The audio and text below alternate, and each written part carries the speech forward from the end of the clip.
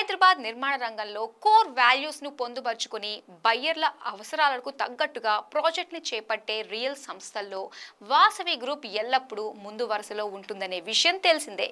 ఈ క్రమంలో హైదరాబాద్లోని కుకట్పల్లిలో వాసవి గ్రూప్ సంస్థ వాసవి సరోవర్ అనే లగ్జరీ ప్రాజెక్టుకు శ్రీకారం చుట్టింది. జీహెచ్ఎంసీ రెరా అనుమతి పొందిన ఈ నిర్మాణాన్ని సుమారు ఇరవై ఒకటి పాయింట్ నలభై ఎనిమిది ఎకరాల్లో డెవలప్ చేస్తుంది. ఈ ప్రాజెక్ట్ కోసం వాసవి గ్రూప్ జీహెచ్ఎంసీ సుమారు ముప్పై ఎనిమిది కోట్లు అప్పటి టీఎస్ రెరాకు సుమారు ఐదు లక్షల ఫీజును చెల్లించింది. నిర్మాణ పనులు కూడా యమ స్పీడుగా జరుగుతున్నాయి.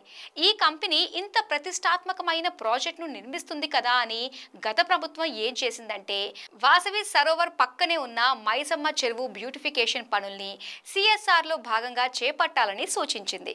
గత ప్రభుత్వం అధికారికంగా నగరంలో కార్యక్రమాన్ని నిర్వహించి వాసవి సంస్థకు సర్టిఫికెట్ను కూడా అందజేసింది.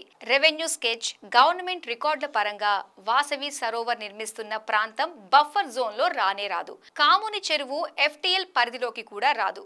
కాముని చెరువు మరియు చిన్న మైసమ్మ చెరువును కనెక్ట్ చేస్తూ పదిహేడు మీటర్ల ఓపెన్ నాలాను కట్టాలని నిబంధనను విధించింది. దీంతో ఈ పనిని వచ్చే వర్షాకాలంలోపు పూర్తి చేసేలా వాసవి గ్రూప్ ప్లాన్ చేసింది.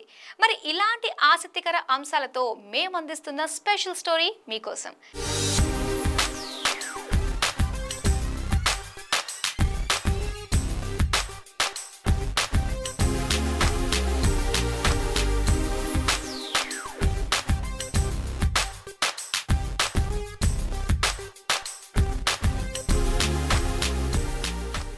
వాసవి సరోవర్ ప్రాజెక్టు పక్కనే గల మైసమ్మ చెరువుకు సంబంధించి గమనించాల్సిన అంశం ఏమిటంటే వీటిని డెవలప్ చేసేందుకు గత ప్రభుత్వం ఒక కమిటీని కూడా ఏర్పాటు చేసింది. బిల్డర్లు ఇష్టం వచ్చినట్టు కట్టకుండా ప్రణాళికాబద్ధంగా డెవలప్ చేసేందుకు ప్రభుత్వ అధికారుల్ని పర్యవేక్షణ నిమిత్తం నియమించింది కూడా. ప్రతి చెరువు డెవలప్మెంట్ పనులు జాయింట్ కలెక్టర్ ఎంఆర్ఓల నేతృత్వంలో జరిగేవి. అందులో ఇరిగేషన్ డిపార్ట్మెంట్ అధికారులు కూడా ఉండేవారు. వారి ప్లానింగ్ పర్యవేక్షణలో సుందరీకరణ పనులు జరిగేవి తప్ప వాసవి సంస్థ సొంతంగా చెరువు సుందరీకరణ పనులు చేపట్టలేదు. ఒకవేళ ఈ చెరువును సుందరీకరణ చేయొద్దంటే అసలా చెరువు జోలికే వాసవి గ్రూప్ పోయేది కాదనే విషయాన్ని ప్రతి ఒక్కరూ తెలుసుకోవాలి. మరో ఇంట్రెస్టింగ్ విషయం ఏంటంటే వాసవి సరోవర్ ప్రాజెక్టుకు వెళ్ళేందుకు గతంలో రోడ్డు కూడా ఉండేది కాదు. అలాంటిది వాసవి సంస్థే సొంతంగా పదకొండు కోట్ల రూపాయలను వెచ్చించి ప్రత్యేకంగా రోడ్డును కూడా వేయించింది. ముందే చెప్పినట్లు ఇరిగేషన్ డిపార్ట్మెంట్ జాయింట్ కలెక్టర్ స్థానిక ఎంఆర్ఓ తదితరులు ఈ చెరువు డెవలప్మెంట్లో ఇన్వాల్వ్ అయ్యారు. వారి సజెషన్స్ ప్లానింగ్ మేరకే వాసవి సంస్థ మైసమ్మ చెరువును డెవలప్ చేస్తోంది.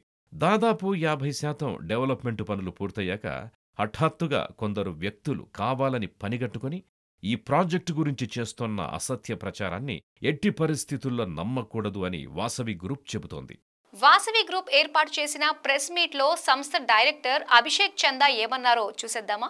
పంతొమ్మిది వందల తొంభై నాలుగులో మా చైర్మన్ సంస్థ చైర్మన్ మరియు మేనేజింగ్ డైరెక్టర్ ఎర్రం విజయ్ కుమార్ గారి చేత స్థాపించబడిన ఈ సంస్థ గత మూడు దశాబ్దాలుగా హైదరాబాద్లో నార్త్ ఈస్ట్ వెస్ట్ సౌత్ ఇలా నాలుగు డైరెక్షన్లలో open plots residential commercial IT parks మరియు రీటైల్ స్పేసెస్లో హైదరాబాద్ మార్కెట్లోనే టాప్ త్రీ పొజిషన్లో ఈరోజు మేము ఉన్నందుకు చాలా సంతోషంగా భావిస్తున్నాను.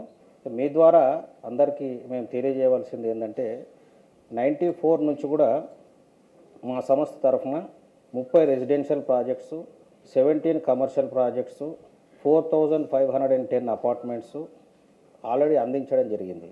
దీంట్లో eight million square feet already deliver చేయడం జరిగింది.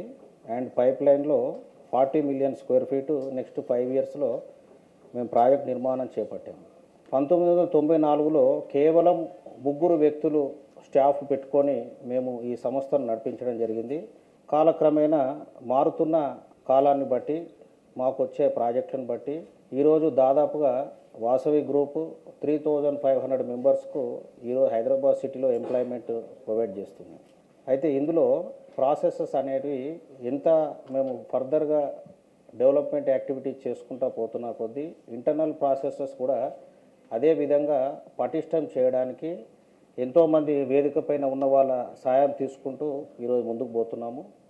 టెక్నికల్ పరంగా కానివ్వండి లీగల్ పరంగా కానివ్వండి రెవెన్యూ పరంగా కానివ్వండి రిలేషన్షిప్స్ కమ్యూనికేషన్ పరంగా కానివ్వండి ఇవన్నీ మాకు ఒక ఆర్గనైజేషన్ నడిపించేటప్పుడు ఇవన్నీ ఎంతో ఇంపార్టెంట్ విషయాలను మేము గ్రహించి దీనికి ప్రత్యేక విభాగాలను కేటాయించి ఇందులో మంచి నైపుణ్యము మరియు స్కిల్ ఉన్నటువంటి వ్యక్తులను తీసుకొని అన్ని విధాలుగా ఆలోచించి ఒక కన్స్ట్రక్షన్ మేము ఈరోజు అందిస్తే కనుక వాళ్ళకు కస్టమర్స్కు లైఫ్ లాంగ్ ఉండిపోతుంది అది ఒక అసెట్.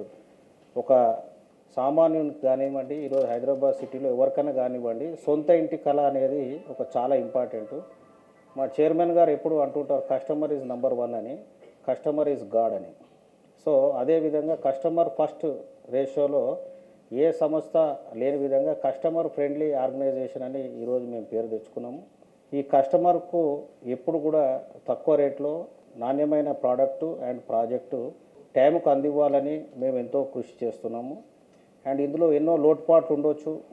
అవన్నీ కూడా అధిగమించి డే టు డేలో దీన్ని ముందు తీసుకెళ్ళాలన్న ప్రయత్నంలో ఉన్నాము మనకు క్రెడై అండ్ ట్రెడాలో అతనికి తగ్గ గౌరవంగా లైఫ్ టైమ్ అచీవ్మెంట్ అవార్డు కూడా ఇవ్వడం జరిగింది రీసెంట్గా.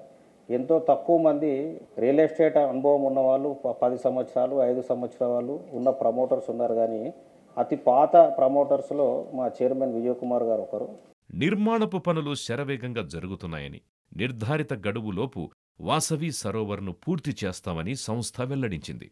నీటిపారుదల శాఖ నుంచి వచ్చిన ఇన్పుట్ల ప్రకారం మొదట్లో నిర్దేశిత ఎత్తులో బండును ఏర్పాటు చేయాలి. ఇది అనేక సవాళ్ళతో కూడుకున్న విషయం. బండును నిర్మించే క్రమంలో మట్టిని తరలించడానికి రాజీవ్ నగర్లో రహదారులు ఇరుగ్గా ఉన్నాయి. ఈ సమస్యను అధిగమించడానికి బండ్ నిర్మాణాన్ని సులభతరం చేసేందుకు తాత్కాలిక రహదారి సదుపాయాన్ని ఏర్పాటు చేశారు. ఇది ఇరవై ఐదు శాతం పూర్తయ్యాక స్థానిక బస్తీవాసులు డ్రైనేజ్ మురుగునీటి పైప్లైన్స్ ఏర్పాటు చేయడానికి పట్టుబట్టగా సంబంధిత ప్రభుత్వ విభాగాలతో చర్చించి దిగువకు నీరు వెళ్ళడానికి ఫోర్టీన్ హండ్రెడ్ ఎంఎం పైప్లైన్ వేయడానికి వాసవి అంగీకరించింది. రెండు వేల ఇరవై మూడు జనవరి ఇరవై ఐదున తెలంగాణ నీటిపారుదల శాఖ చిన్న మైసమ్మ చెరువు సుందరీకరణకు ప్రాథమికంగా అంగీకరించింది. రెండు వేల ఇరవై మూడు మార్చి ఇరవై ఏడున అప్పటి మంత్రి కేటీఆర్ మైసమ్మ చెరువు అభివృద్ధి చేసేందుకు ఒప్పుకున్నారు అదే రోజు వాసవి సంస్థ చేస్తున్న మంచి పనిని గుర్తించి ఒక సర్టిఫికేట్ని కూడా అందజేశారు. రెండు వేల ఇరవై నాలుగు మార్చి ఏడున నీటిపారుదల శాఖ సిఎస్ఆర్ యాక్టివిటీలో భాగంగా అభివృద్ధి పనుల్ని చేయడానికి ఒప్పుకుంది. జీహెచ్ఎంసీ అదనపు కమిషనర్ తదితరులు సైట్ ఇన్స్పెక్షన్ కూడా చేశారు. జీహెచ్ఎంసీతో కుదుర్చుకున్న ఒప్పందం ప్రకారం రెండు వేల ఇరవై ఆరు జులై పదిన చిన్న మైసమ్మ చెరువు సుందరీకరణ పూర్తి కావాలి.